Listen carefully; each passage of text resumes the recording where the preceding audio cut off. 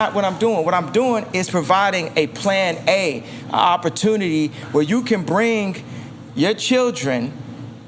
If you feel like you can't take care of them, you ain't got a place to take them, you don't have a support system, we got a place that's gonna have. I'm like, you thought that I wasn't gonna try to get killed in this interview? Mm. Dr. Sebi's diet, Right. Oh, based off Dr. Sebi's diet, saving the 808 exists in the lowest chakra of your body. The majority of content that's related to the 808 is killer or sexual content. The original 808s was even off pitch.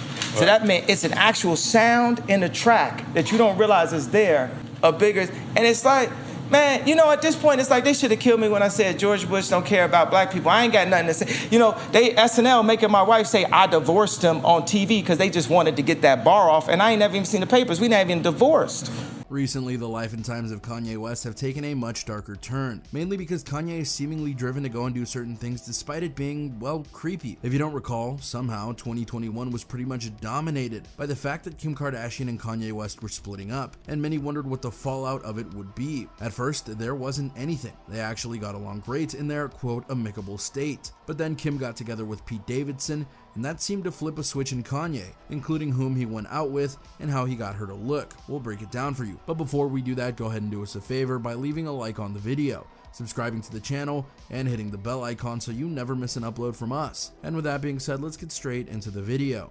Do you want to win an iPhone 12, maybe a MacBook Pro? How about $500 cash? All you have to do is comment the secret hidden message somewhere in this video. That's it. Oh, and leave a like on this video and subscribe to the channel so we can keep affording these giveaways. Winner will be announced at the last day of each month. Thanks for watching and good luck. Number 5.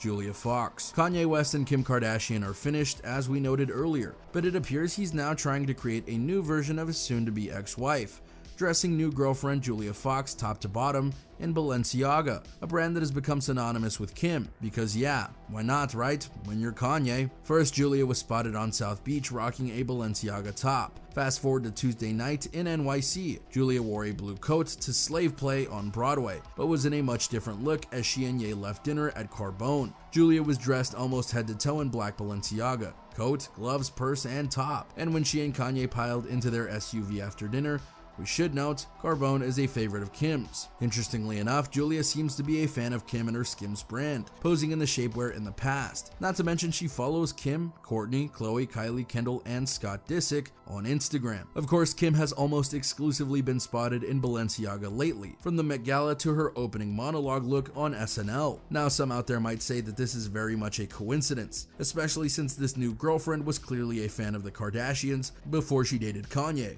But if you really think about it and you recall how Kanye's been acting since, well, for the last long while, do you really think he would allow any girlfriend of his to dress like him if he didn't absolutely want that? This is a message of sorts to Kim that he has someone who is like her, or that he's still thinking about her even though he's with Julia. You can interpret it however you want. Number 4. PDA for all to see. Kanye West is clearly working to send a message to Kim Kardashian, showing some PDA with Julia Fox less than 24 hours after Kim and Pete Davidson got cozy on their own date night not too long ago. Ye and Julia hit Delilah in West Hollywood with some of Kanye's famous friends one night. Inside, the two sat next to each other on a couch, vibing with the music played in the club. However, it's what happened outside that has everyone talking. As the two got ready to leave, Kanye planted a big kiss right on Julia's lips. It's not the first time we've seen the two share a little PDA. They literally did a whole photo shoot, but the timing of the kiss seems more than coincidental. Kim and Pete grabbed pizza and ice cream together the previous night, and it was during the ice cream run at Rite Aid when we saw the two loved up and cuddling. A huge sign things are getting serious. Kanye without a doubt saw those pics, so you gotta imagine there was a bit of revenge factor that played into smooching Julia. And you might think, we're overthinking this, but are we? Especially when he did something like this very recently. Number 3. PDA in Paris. The two appeared on photographer Danielle Levitt's Instagram account on Friday, engaged in an open mouth kiss while Fox had her arms around West's shoulders. Fox wore a futuristic fuchsia one shoulder dress along with edgy eye makeup, while West donned a black jacket with a gray hoodie and a pair of striking ice blue colored contacts. Other photos in the gallery showed Ye with his arm around Fox's waist, as well as an image of the pair seated on a banquet alongside other guests. According to the photo's caption, the pair were at a dinner in Paris, France, with other notable personalities in attendance and visible in the pictures, including Mos Def as well as Pusha T. So not only is Kanye showing off his new girlfriend to the press,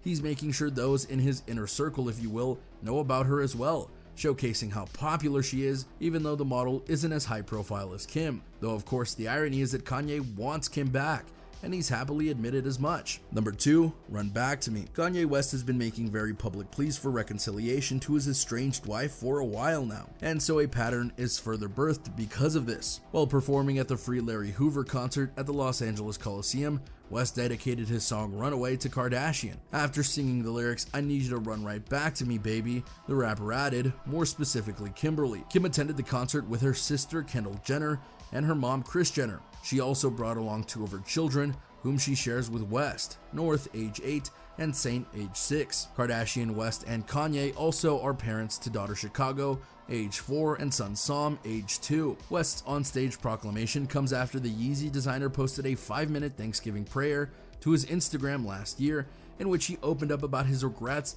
and his wish to reunite his family. All I think about every day is how I get my family back together and how I heal the pain that I've caused, he said at the time. I take accountability for my actions. New word alert, misactions. The one thing that all my successes and failures have in common is me. West also detailed some of his misactions, including his hair trigger temper, which he said was heightened by alcohol and his manic episodes, referring to his bipolar disorder, which he said his family had to endure. West also owned up to the mistakes he made while married to Kardashian during the Los Angeles Mission's annual Thanksgiving event last year. In a speech delivered at the charity event, West told the crowd, the narrative God wants is to see that we can be redeemed in all these relationships. He added, We've made mistakes. I've made mistakes. I've publicly done things that were not acceptable as a husband, but right now, today, for whatever reason, I didn't know I was going to be in front of this mic but I'm here to change the narrative. And I ain't never even seen the papers, we're not even divorced, West said, adding, That ain't no joke to me. My kids want their parents to stay together. I want us to be together. This sentiment is now added upon via the house buying that he did, where he bought a house literally across the street from where Kim lives, and the girlfriend dressing, and who knows what else Kanye has in his mind next to try and get Kim back. Oh, we do know one thing he's trying to disparage Pete Davidson, and as such, but that shouldn't be too surprising given that it's Kanye. Number 1. Kim's reaction. So, what is Kim's reaction to all of this? Well, she's honestly been taking the high road for all of it. No, really.